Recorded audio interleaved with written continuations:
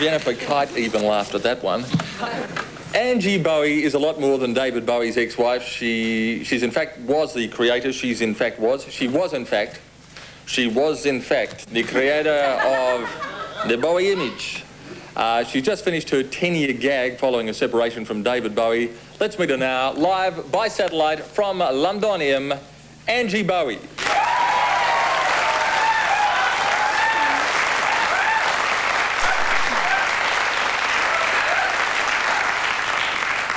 Hi, Angie. How are you? I'm fine. How are you? Very well, thanks. This is the first time you've spoken to Australia, isn't it? I think it is. It's very exciting. Hello, everyone. Um, now, you were, you're very well known as the, uh, the wife of David Bowie, but were you in fact the creator or partly the creator of the Bowie image, Ziggy Stardust and that total look? Um, I contributed. It was a, you know, a team effort, and it emanated from what David wanted wanted to project. So yes, I was, you know, partly responsible, but I would not take um, full credit. That mm. would not be correct. Yeah. How did you first meet David? Um, a, a, mutual friend who was the head of A&R at Mercury Records in London uh, was a friend of David's, and he knew that David had broken up with his girlfriend, and he thought that I would be able to uh, cheer him up make him feel better. And did you cheer him up? I think so. yeah, we stayed plenty busy for a long time, so yes, he felt better. What was your first impression of David when you first saw him? Uh, the first thing that struck me was we went to a place called the Speakeasy, uh, which was a club that had a lot of music business people at it. And I was very impressed with the way that they deferred to David with so much respect. It made me want very much to hear all of the music and to understand why he was so well respected as a songwriter because he was 23. He was like a real young kid, you know, and they treated him very respectfully. And what was your first impression of his music? I thought it was fabulous. I really did. I thought it was just I love the melodies. I think he's got a really special voice with a great timbre to it. And that's something that I really, Boy George, too. You know, there's some people that have those real distinctive quality voices. And the way the melodies were constructed and the lyrics and the way he used his voice was fabulous. Now, you've made some recent allegations, uh, Angie, about uh, David and Mick being, well, There's no allegations. Hey, hold on, Steve. well, what are they? Uh, tell me the story. Not, you tell me. Tell me the story. I'll, I'll be happy to. Yeah. I'll be happy to tell you the story. I came back from the airport to my house in Oakley Street, and I was just coming in, you know, with the suitcases and everything. And my assistant Daniela was in the kitchen, and she said, "Oh, there's someone sleeping in your room." And I said, "Oh, okay."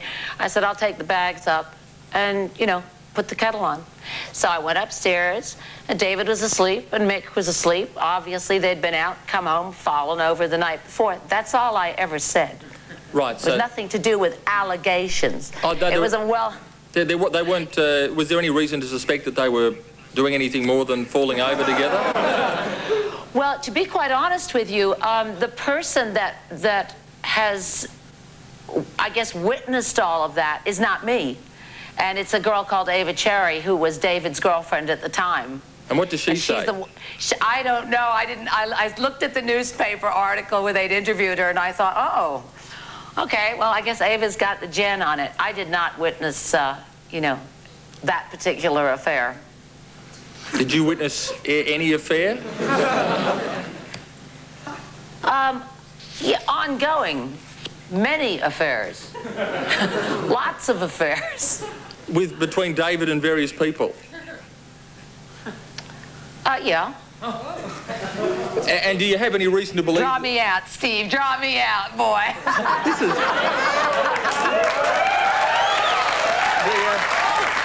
I just want to get to the bottom, if you'll forgive the expression, do of the. Uh, of... Do you want to get to the bottom? I've read your press, Steve. I know all about you, baby. Now. I've never been caught in bed with anybody, and well, not recently. I never said you had. I was just talking about your general demeanor. Oh, thanks, Angie. Now, Angie, did they or did they not do it? Angie. That's not. I wasn't there, so I can't answer that question. You've been trained as a lawyer. You know perfectly well that I'm not in a position to answer that. That's a, uh, so that's a no. Got it. No, they did not do it. Okay. Um, now, you're uh, living in uh, Atlanta at the moment. Uh-huh. What are you doing over there?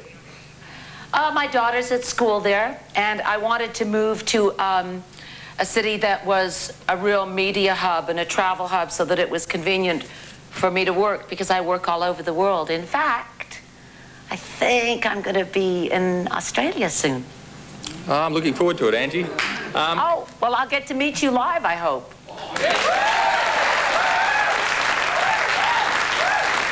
now, Angie, you're working on a couple of books at the moment, is that correct? Yeah, we're going to do, um, my autobiography is going to be released. And there's another book that I'm working on with uh, two gentlemen, Mark Vigo and Leee Black Childers, which is like an overview and a look back. It's called Glitterati, and it's about the 70s in photographs and prose and poetry and interviews, just with the, all of the people, you know, who aren't dead, um, that are still alive to talk about it.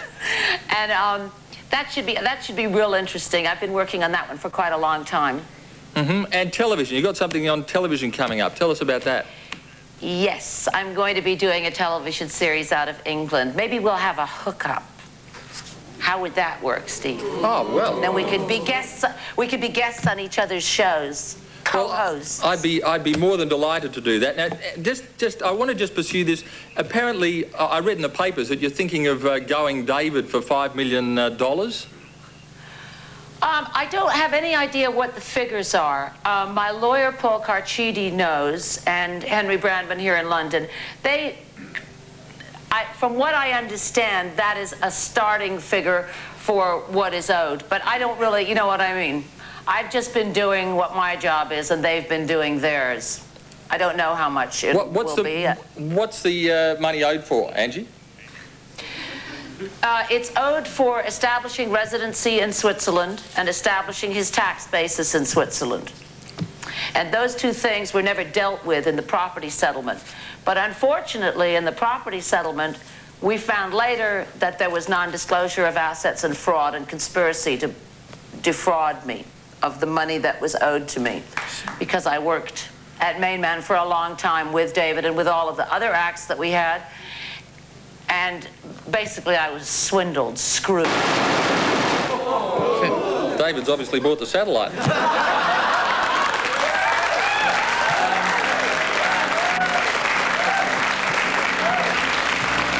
Got the satellite? Is that it?